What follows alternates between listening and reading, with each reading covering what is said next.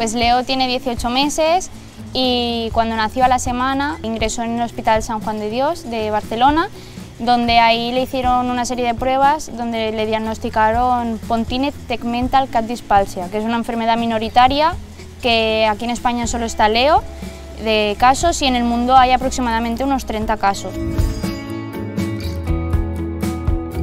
Esta enfermedad eh, lo que hace es una malformación en el cerebelo y en el tronco encefálico. Leo no tiene el, el bultito donde salen los nervios, entonces Leo tiene afectados el nervio de los oídos, eh, también tiene parálisis facial periférica, solo mueve la mitad de la carita y por ello tiene también dificultad para comer. Y luego por el cerebelo tiene dificultad para caminar, para el equilibrio. Al principio fue muy duro, la verdad, porque le ves tan pequeñito y con tantos cables puestos en él que asusta y más cuando te dicen que tiene una enfermedad y que no hay nada de información de esta enfermedad, que es haciéndole pruebas a él y ver cómo, cómo transcurre y cómo lo va aceptando su cuerpo y ir viéndole a él. Y aceptar que había un problema, entonces vivir con ello y adaptar con una niña también de 5 años el día a día, lo más natural posible.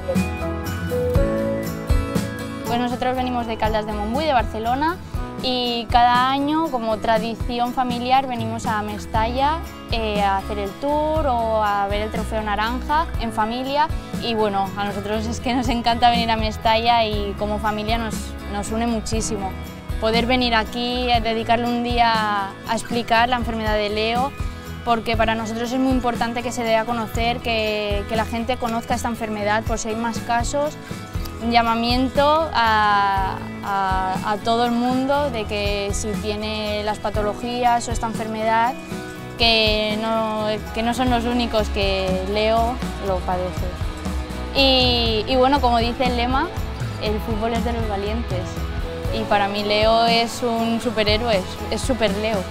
Entonces para mí el fútbol con el Leo es super Leo.